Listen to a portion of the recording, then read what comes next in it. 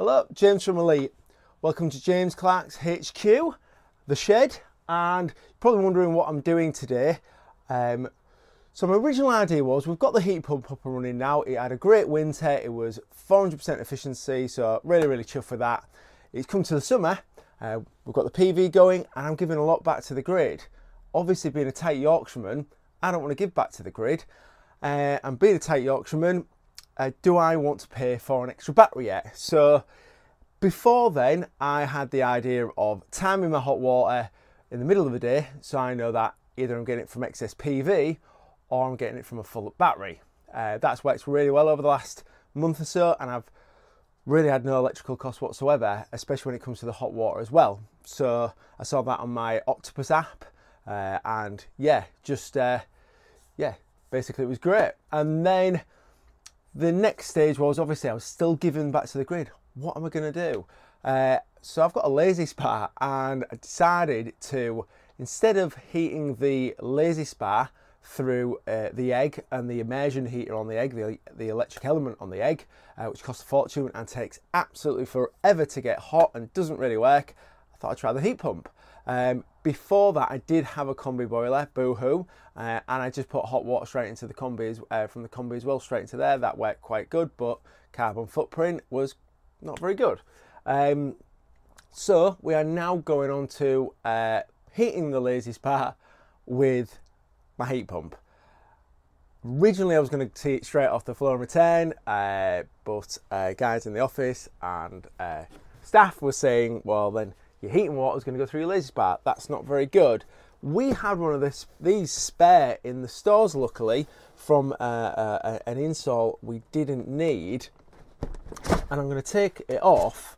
And this is a Vaillant plate exchanger. What this uh, originally did, does is it separates the uh, the outside heat pump to the inside heating. So the glycol was only for this part of the plate and the outside unit. The rest of the heating system was fresh water, so if you have a need to change radiators, you're absolutely fine. This is working great at the moment. Uh, so the flow and return on this side is to my heat pump outside, uh, and therefore the kind of the heating system water still. And then this flow and return is going to the lazy spa, hydraulically separated, hydraulically separated from the plate heat exchanger.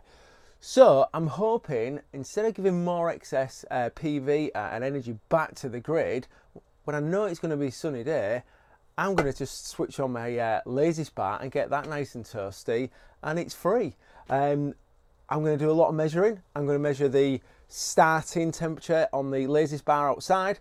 Um, I'm going to do this on a fixed flow on the on the from the heat pump uh, because we want it about 40 degrees on the on the lazy spa outside. There might be some uh, uh, distortion and some drop in temperature from the plate either side, so we might have to bump the heat pump up. Um, from that, uh, we're going to see how good it is, uh, see what the draw of electricity is from the heat pump. Uh, we know that it's three kilowatts from the egg and does cost a fortune, about a pound an hour to do one of them lazy spas. And yet again, it's not very good. So let's see how the heat pump does. We've got a, a battery app so that means we can show the load of the house and how the heat pump's running um, and yeah, see if it's just more efficient basically and it does the job better. Um, so yeah, this perfectly uh, works. Uh, hydraulically separates the system, uh, a couple of handles uh, and on my Onecta app, on my Daikin app, I can say my heating's off because it's summer anyways, heating off, hot water back on, couple of handles and it's going back to the house the way I want to run it uh, normally through the summer and just hot water only. So this is through the Onecta app on a fixed flow of 40 at the moment. Pumps running to the lazy spa and back, and uh, we'll get the heat pump firing up and, and see how we get on. Uh, yeah, start some measuring. This is a DIY job. This in, uh, uh, this is uh, a, a, good job. Don't get me wrong, and I'd like to see how it goes. Uh, but this is for just shits and giggles, and basically see how it goes, see what we can measure, and yeah, just a bit of fun really. Um, yeah, so let's see how it goes. Okay, so we're just sucking up the um, Florima 10.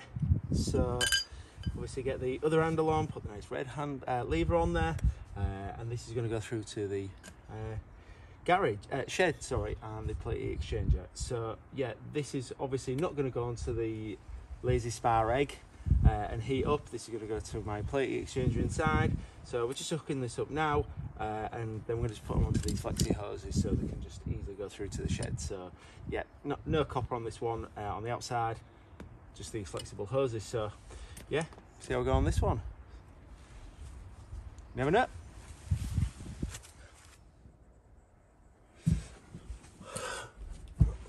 All right, so I'm connecting uh, these unions to the bottom. We're getting rid of that plastic. That was um, trial number one. Not good. Uh, rubber hoses, in fact, we're going to change it for plastic because uh, they just can't handle the pressure. These flow and return from the heat pump are under pressure.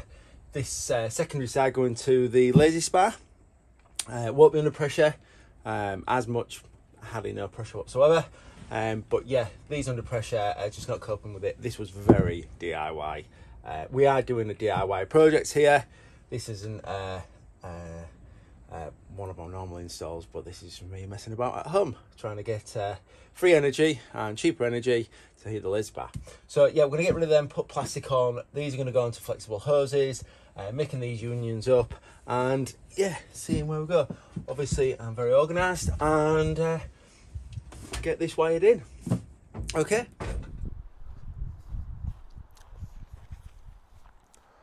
Okay, so I've got a Testo Smart Probe and I'm going to put it in the water.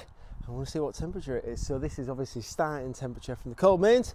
Uh, also want to just rec uh, record really how long this lazy spa gets up to temperature of about 37, 38 degrees from a standing start uh, in relation to or, or, or against the egg and the immersion in the egg, the electric heater in the egg versus the heat pump.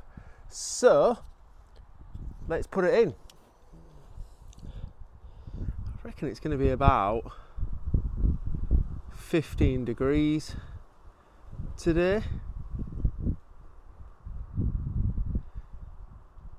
Or not, could be 20 degrees. It's exciting TV this.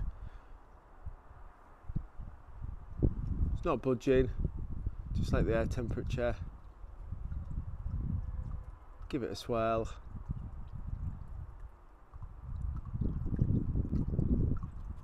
It's reading 20 degrees. So I want to get up to 7, 17, 18 degrees on top of that. Um, yeah, see if we can do it, see how long that takes. Okay.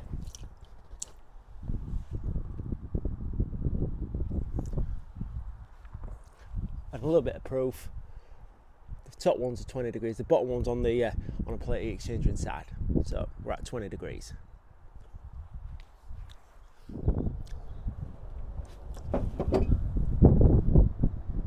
Okay, so the heat pump started, we put it on a fixed flow and yeah, up and running up to the plate. Uh, I'll show you what we're doing on the app, uh, on the battery app. Currently, we're pulling close to a kilowatt. If we can go forward, can you see that?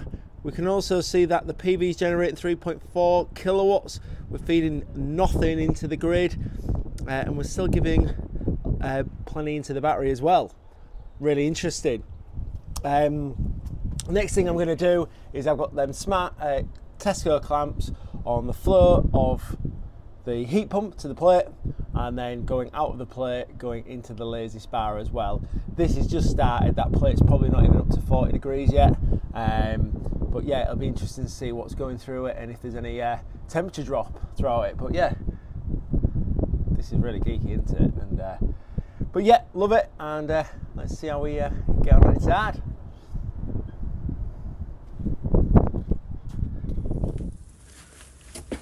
Okay, so as you can see by the timer, half an hour's gone. That is the return of the lazy spa, 23, nearly 24 degrees. Sat at 20 degrees.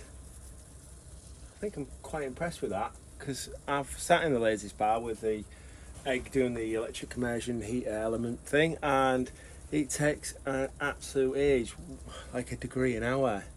Um, so half an hour gone, four degrees up, there is a 5 degree delta T over this plate so if I want it at 38 degrees you know, I want to be setting my flow of my heat pump to about 30, 30 42, 40, 43, 44 degrees. Um, but yeah, currently that's the flow of the heat pump. Obviously it's it's not at 43 degrees because it's pulled back and retained by the retain. It's only got a five degree delta T, so it'll never let it get itself get away um, away with itself, you know, flow wise. Um, so at the moment it's at 31 degrees of flow from the heat pump, 24 going to retaining actually from the lazy spa, retaining from the lazy spa. So the flow to the lazy spa will be about 27, 28 degrees. So yeah, impressed, impressed so far. Uh, and I think it'll only get better.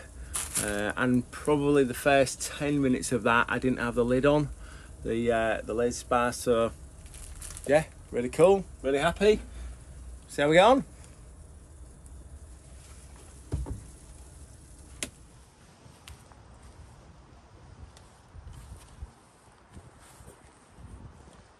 So, a little progress update. It's been an hour and a half, if you can see that. Now it's 27 minutes. And the retain's at 30 degrees. An hour and a half, it's gone up 10 degrees. And I put this probe in the water uh, and it's confirmed that it's obviously slightly hot because the hot rises, uh, about a degree hotter. But yeah, normally it'd be about a degree or two an hour. It's gone up 10 degrees an hour. That is amazing. That is amazing. So uh, yeah, maybe the next time we see me, it'll be in, in there. Um, but yeah, really, really, really impressed. Think it'll work this well, but yeah, really chuffed.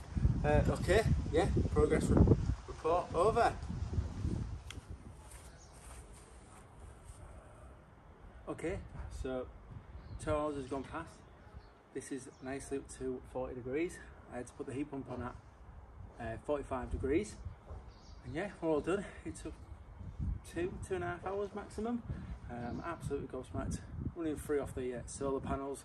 Uh, what's quite interesting is actually uh, the COP was 600% uh, was six because the incoming air going into the uh, evaporator was 20 degrees. So yeah, it's amazing. And it comes to show about SCOP probably not being the best medium to record heat pumps um, because if I left my heating on that month longer into the summer months, I'm getting warmer air compared to the other person, even though that person's paid for less and the return investment's better, my SCOP looks better, my efficiency looks better, I'm paying more. It's just because I've got better feel for the summer months. So I won't be looking at SCOP so much, be looking at COP, what is that efficiency at that time for that outdoor temperature. So yeah, plumbed up the uh, the lazy spa to the uh, the heat pump, running free off the solar and the battery. Thanks for watching. Make sure you subscribe.